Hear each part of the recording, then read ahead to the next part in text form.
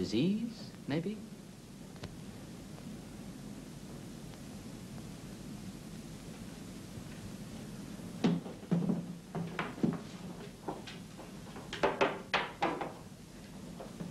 Exactly that. Someone who carries a disease that blights the lives of other people and doesn't affect him at all. Oh, yes. I think I heard that spoken of, all right.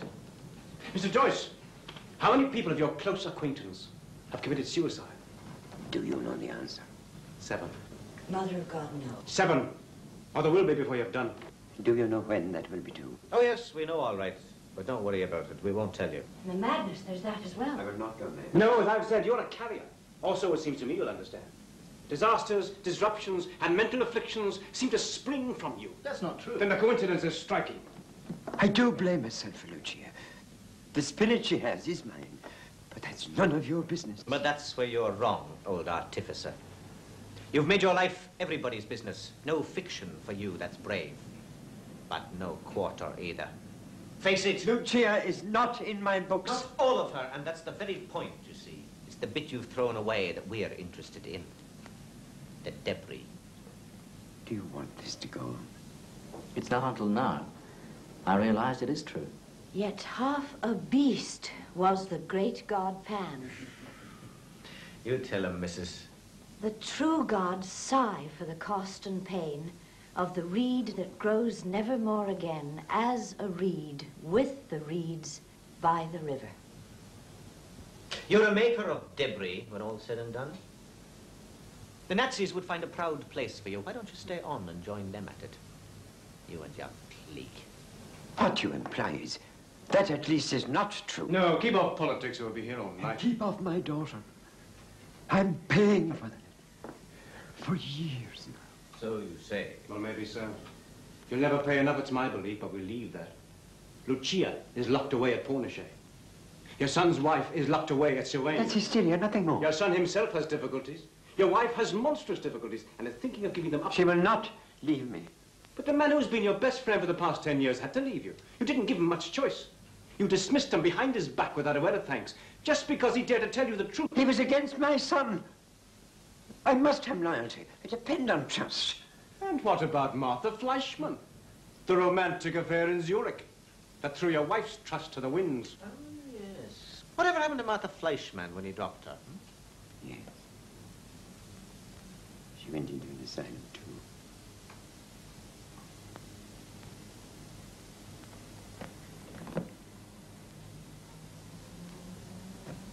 Why is it breaking now? Everything breaking apart when it should be strongest. I can't finish like this, falling away. Surely there's more. There must be a lot more to come. Just don't know where it'll come from. That's the penalty. When you go, when you leap to the outermost reaches too soon, to walk back empty-handed.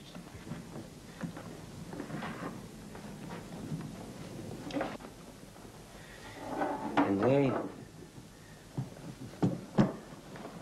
only see you walking back. Back. This is exactly how I felt at the beginning.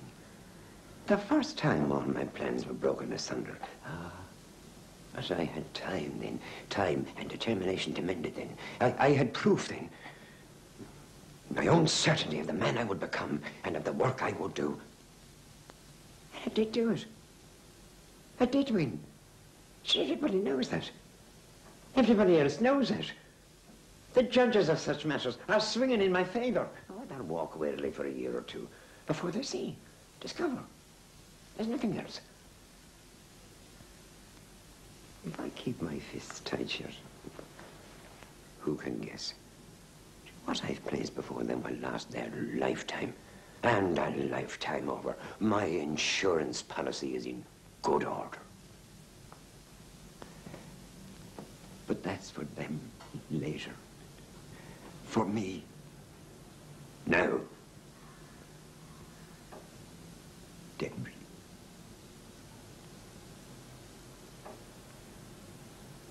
I wonder what Daedalus did with the shavings. And if he'd had a daughter, would he have taught her how to fly? Poor Lucia, but Lucia for light, sunlight, too close, too high. Auden has a fine poem about Icarus. He catches it exactly after the dying fall. Says nothing about the cause of it, though.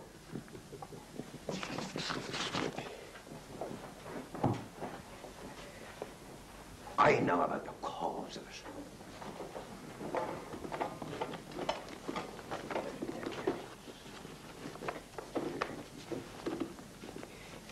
And any man who can design a labyrinth should be able to find his way home.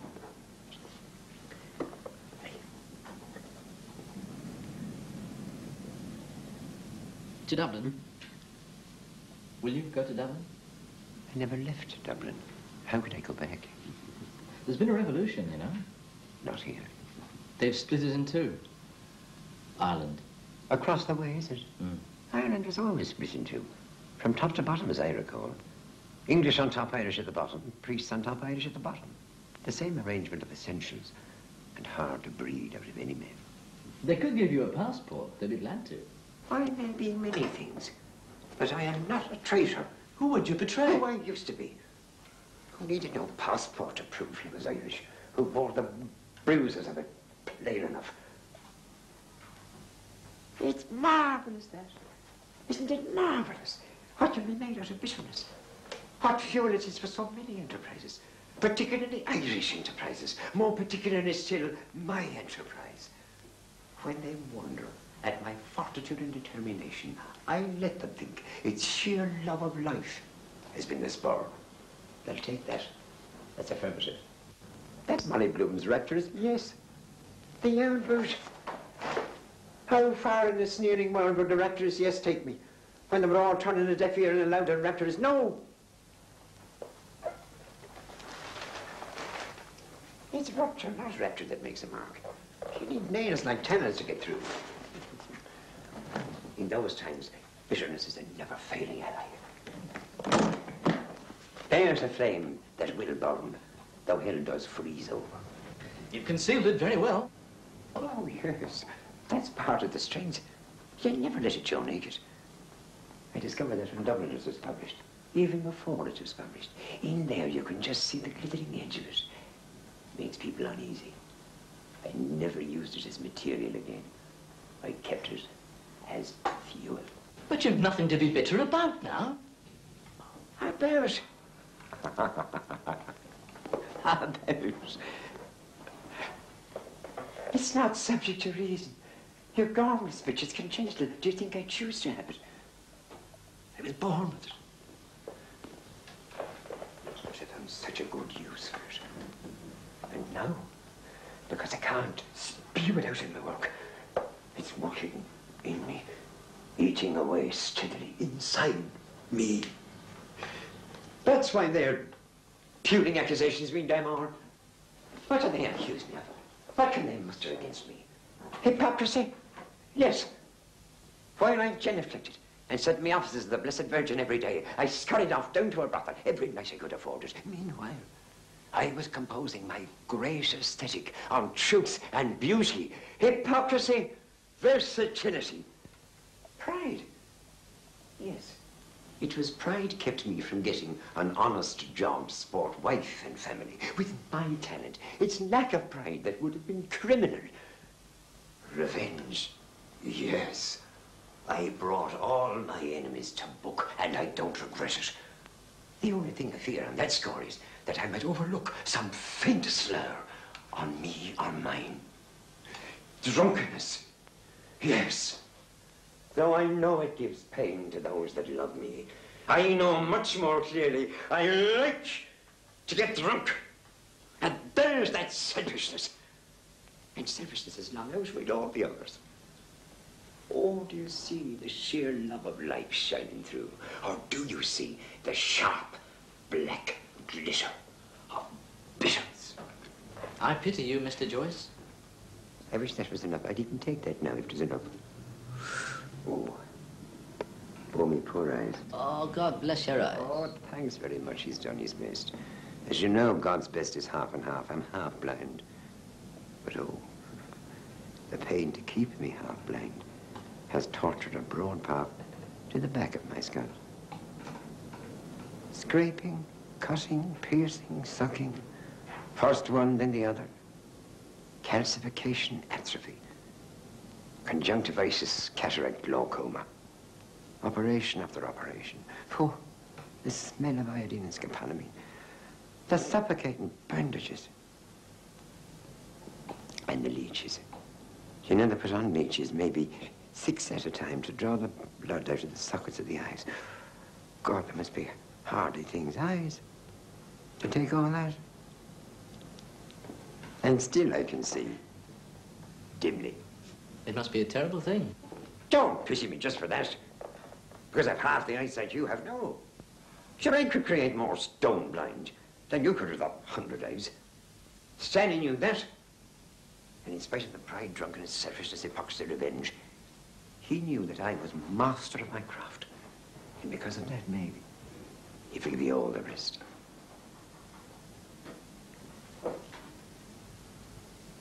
You remind me of Stanley. So you said? When we were young. Yes. He knew all about the saving and the fawning and the supperless bedtimes, imposed from him to the youngest, so that you could go shod and breakfast eaten to classes. A family of ten, wasn't it? Half of them died in Chandos. Ah, but you were there to vindicate the fact that they were born. Vindicate.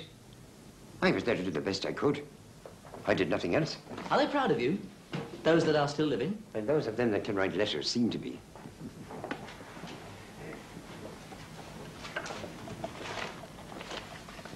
My father was. Ah, but he's dead now, too.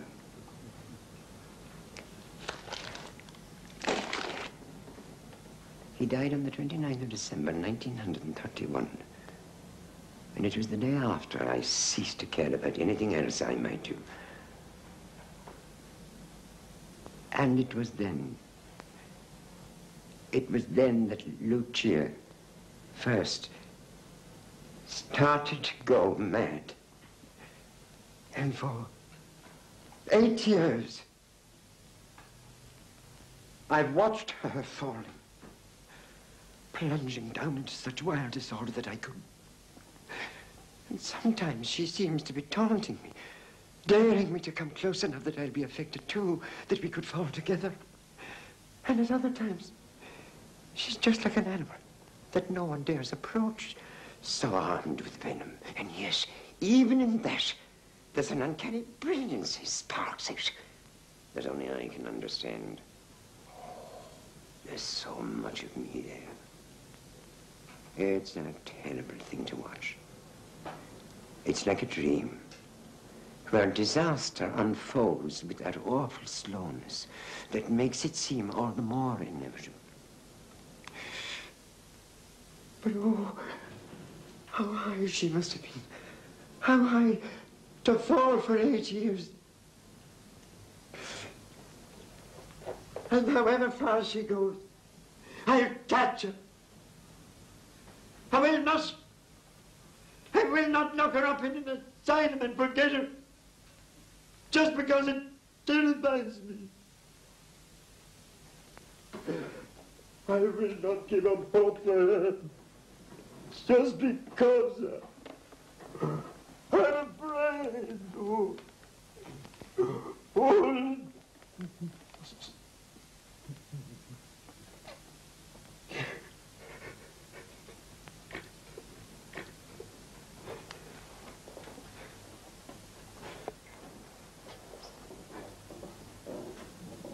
If there's a chance, if there's the slightest hope of a chance for a cure for her, nothing will stop me taking that chance for both our sakes, even if it means we have to be left alone together. I'll take that chance too. Ah, but I should have started sooner. I should have seen the first signs. I deserved to lose my sight then, when I did not use it for what mattered most. Here. Do you think that's likely? Oh, not just Lucia, but other people too. The uninteresting bits I ignored. That sounds like an old wives' tale. But I believe in old wives' tales. God knows I use more than we share of them. Very superstitious man. I believe in spells and magic and curses. Uh, the real seer, Mr. Joyce, uses the mind's eye. but out of sight. Out of mind. And God isn't damnable. If you wait long enough, the most commonplace phrase takes on its real significance. Never be able to hear that phrase again without thinking of madness. You are just playing with words. Just. Is that what I've given my life to? A seer? Is that what you think I am? You didn't give me one. The eulogies. You didn't add yours to the others. I have one. Longer than Burns, I hope. Burn? No, of course you can't. He's in New York.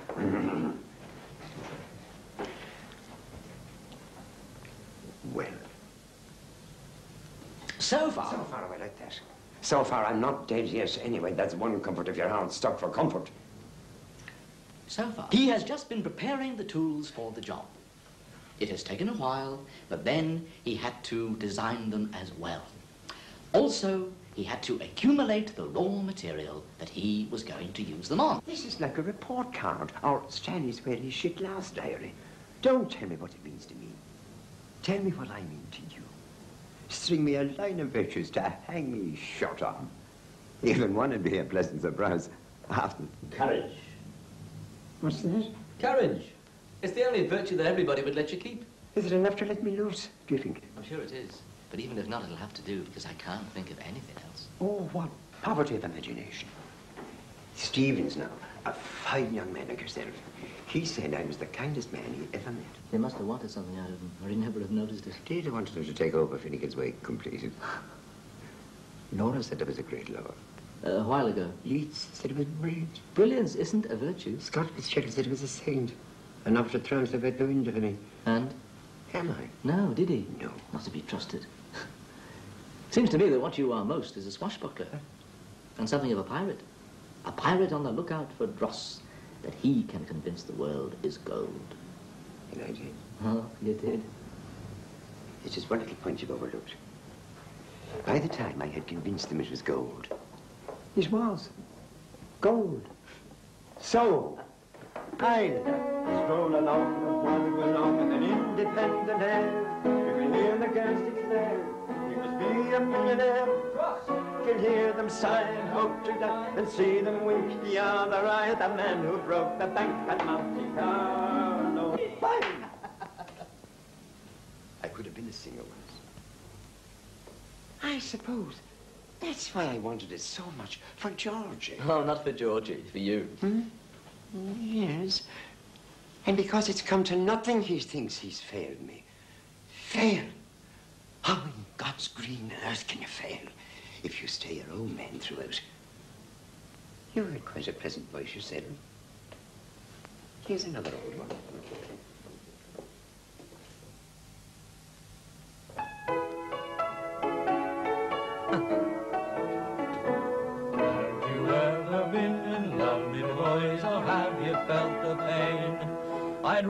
Be in jail myself than be in love again.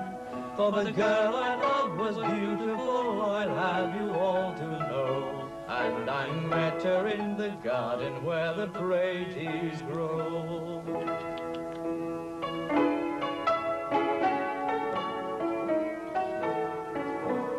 She was just the sort of girl, me boys, that nature did intend to walk right through the world, me boys, without a Grecian band. Nor did she wear a chignon, I'll have you all to know. And I met her in the garden where the praties grow.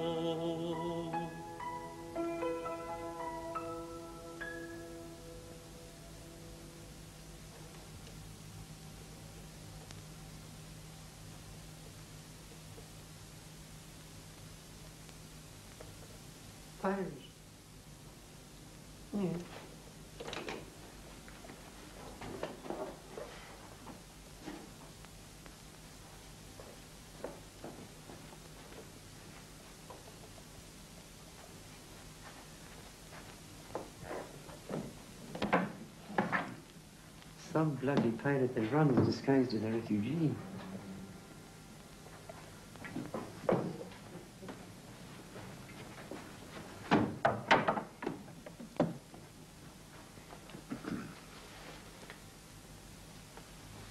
Though,